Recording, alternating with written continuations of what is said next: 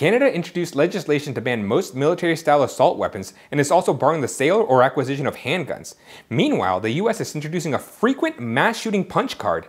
If you survive 9, the 10th one, you get an extra serving of thoughts and prayers.